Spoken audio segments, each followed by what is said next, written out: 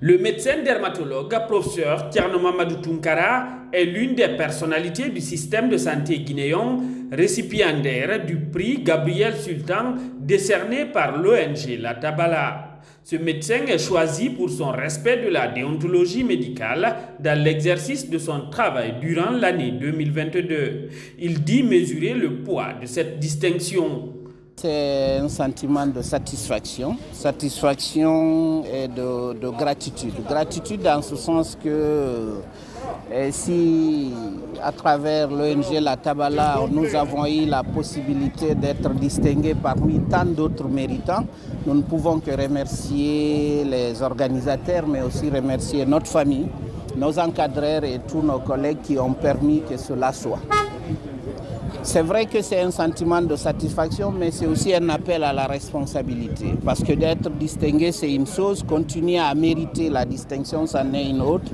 Et nous nous engagerons à continuer à œuvrer pour continuer à mériter cette distinction de la corporation qui nous honore encore une fois de plus. Le prix Gabriel Sultan du meilleur pharmacien 2022 a été décerné à l'actuel directeur général de la pharmacie centrale de Guinée. Dr Labila Sagno a dédié son prix au personnel de la PCG.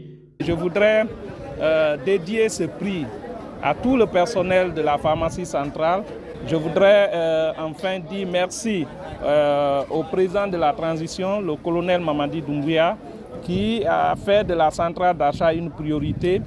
Alors, ce qu'il faut retenir, c'est que euh, cette nomination aujourd'hui vraiment, viendra encore nous, motiver, viendra encore nous encourager parce que quelque part on se dit tout ce qu'on fait dans l'ombre est reconnu et donc euh, ça va nous mettre encore la pression et nous allons doubler les efforts pour que les, les objectifs euh, assignés à la centrale soient atteints, notamment la disponibilité des produits de santé jusqu'à la, jusqu'à la dernière structure du pays qui, est, euh, les postes, qui sont les postes de santé. Le grand prix de la septième édition Tabala est revenu au ministre de la Santé et de l'Hygiène publique, Mamadou Pete Diallo. Il a été choisi pour l'ensemble des réformes qu'il a engagées depuis sa nomination à ce poste par le président de la transition.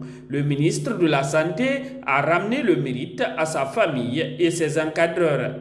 Reconnaître ceux qui nous ont précédés le travail qu'ils ont fait, l'abnégation dont ils ont fait preuve dans l'exercice de leurs fonctions, bref, le patriotisme qui a irrigué leurs idées, leurs actions, leur euh, comportement au quotidien, c'est aussi un geste qui nous grandit.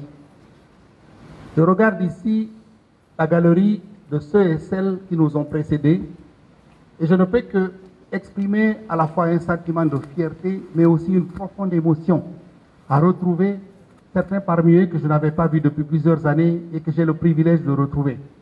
Certains parmi eux, dont la plupart d'ailleurs ont été mes maîtres, mes aînés, qui nous ont encadrés, enseignés, éduqués, mais qui plus est, nous ont donné l'attitude, la confiance en nous et la volonté de servir. Le ministère de la Santé, dont la gestion m'a été confiée aujourd'hui, c'est l'aboutissement de votre formation et de vos bénédictions.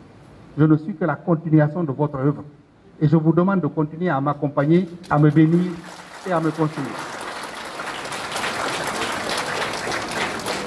Je voudrais terminer mon propos en parlant de, feu notre père, notre maître, le docteur Gabriel Sultan.